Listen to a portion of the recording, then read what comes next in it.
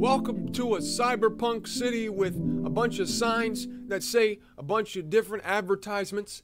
Hey guys, welcome back to TutsByKai. I'm Kai, and today we are back. You guessed it. You probably guessed it, most likely in Blender 2.8 once again. And we're making some neon signs today. A lot of you guys have been asking me about uh, neon signs and cool, uh, uh, uh, you know, more realistic things. And I figure we'll kick it off with some neon signs because I've been getting this from since the dawn of time. Uh, so we're doing it today. We're gonna go ahead and get rid of default cube by hitting delete on my keyboard. I'm sorry. Hit uh, Shift A on my keyboard here to add in a a curve. This will be pretty cool because uh, we don't ever use curves, which is going to be nice. So I'm gonna start it off with uh, you could use a you could really use a path. It's pretty it's pretty much the same thing. Um, so we're gonna start off with a curve. We'll do that. So we'll choose a curve, and I'm gonna hit one on my numpad to go into the front facing view.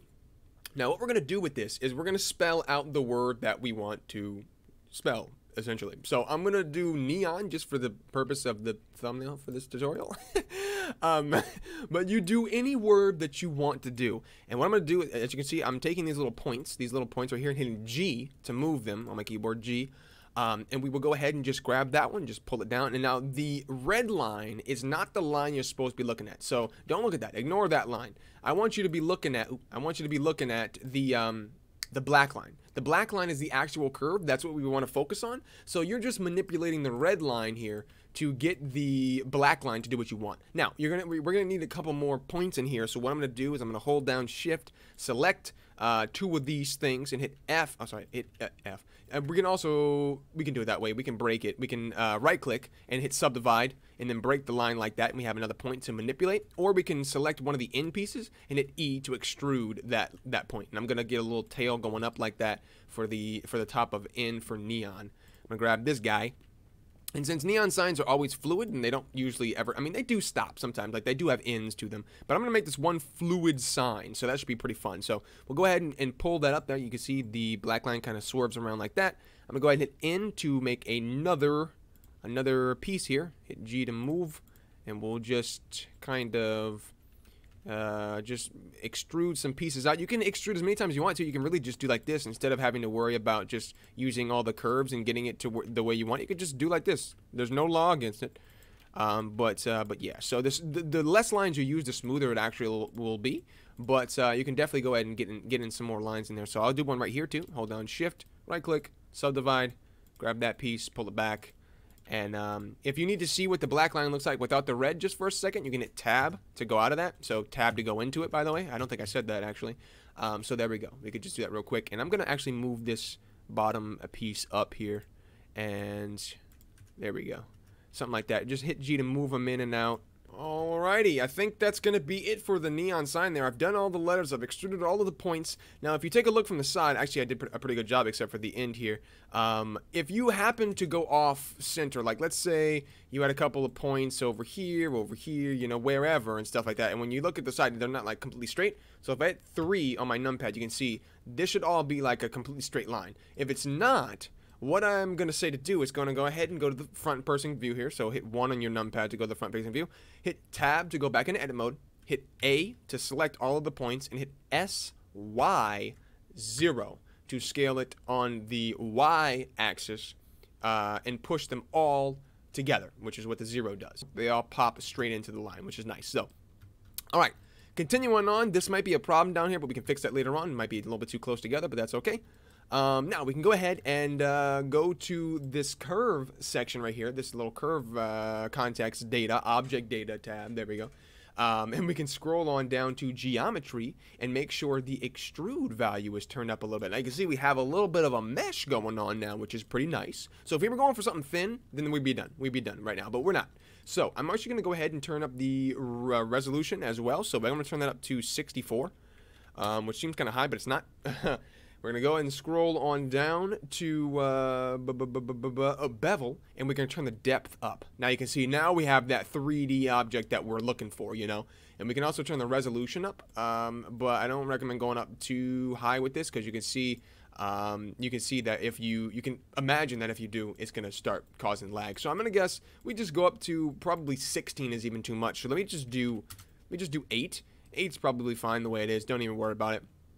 Um, all right So, my friends, now we have a couple more things to do here. I actually want to go ahead and turn the extrude value down. So you see, if we turn the extrude value up, it kind of gets like, like thicker in one direction. So like it's thicker this way than it is this way, which is not what I want. So if you want that, then leave that extrude up. But if you don't want that, you can turn the extrude all the way down, and now you have that completely tube-like neon classic sign, which is what I'm going for in today's tutorial. So we're going to leave that the way that it is, because I like it. Now, if you need to do anything to edit the text, don't worry about it, because you can, because it's not actually text, you just made it. um, we can go ahead and hit tab and go right back into edit mode and change this on the fly hit uh, G to move these around, make sure they're not like super touching or something like that. They can touch, but I just don't want them to clip a lot. Now I did all that first because I want to make sure I have it exactly the way I want it before we go ahead and hit Shift D to duplicate this. And now what we're going to do is I'm going to go ahead and zoom into this little area right here so you can see what I'm doing here. So if I turn down the depth, you can see that inside is this nice little tube, which is what we need. So this tube is actually going to be what's lighting our, our, our, neon sign. We're not actually going to light uh, um, light it up with the actual tube we're using. We're going to do it on the inside the way a neon sign actually is. So I'm going to go ahead and turn this to 0.015, and that should be pretty good the way that it is. So, my friends, we're looking good. All right, there we go. Um, so now, uh, what was I doing? I forgot. Uh, oh yes, that's correct. All right, so what we're gonna do is we're gonna go ahead and scroll on in here so I can so I can show you as easy as possible. I'm gonna grab our our inside tube, the one we just made. I'm gonna go to the material tab and hit new on this material. We're gonna change this surface from Principled BSDF to emission, and we're gonna change the strength to five for now. We might change that later on, but that's fine. If we go to render viewport shading up here at the top, you see we see no difference. We only the only thing we see is like inside here. Uh, that's all we can see. We can't see anything else. Um, but that's okay because if we select our actual text now, the the big the big one, the big Kahuna over here. Um, or you know what I want to do? We let me let's do this again. Let's do this again actually because I want to do this cool little thing that I did. I forgot about this. All right, so let me go back to the solid viewport shading. Now you see these little pieces that are kind of intersecting. I don't like that. I'm gonna go ahead and select this this piece and I'm gonna pull this out away from it, and I'm gonna purposely make that not in line by hitting G and moving it over. I'm going to do that with anything else that intersects, which I have nothing else that actually does that. I just really don't like the way that looks, so I'm going to go ahead and fix that. Now we can go ahead and do the same thing. I forgot about that. Sorry about that, guys. All right, so hit Shift D, right click to cancel the movement, go back to that, uh, go back to the uh, Object Data tab, depth, uh, 1, 5. There we go. We're all good to go now. Because if I did it before, then it wouldn't be in line with it. So I have to make sure it's all set the way I, I want it before we do anything like that. So there we go. Um, now, we can go back and put that same material on the inside one. On the outside one, we'll go ahead, select the, the other material, so the default material that we had.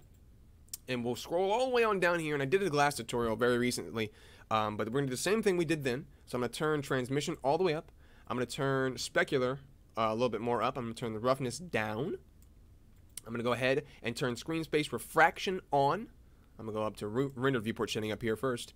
And then I'm to go to the scene tab, turn on screen space reflections, and I'm to make sure refraction is checked. Now you can see, we can see through this, but the um, emission shader is too bright, like I said. So we're probably going to turn that down. We will have to turn it down a lot. So let's put it back to 1 for now. Um, and then we'll go ahead and grab our main tube here, and we'll change the depth. We'll change the depth down to... Eh, maybe 0.2. 0.2 looks good, right? Maybe 0.15, actually. 0.15. Nope, the other way. 0.25. Now, I'll just leave it on 0.2. It's fine.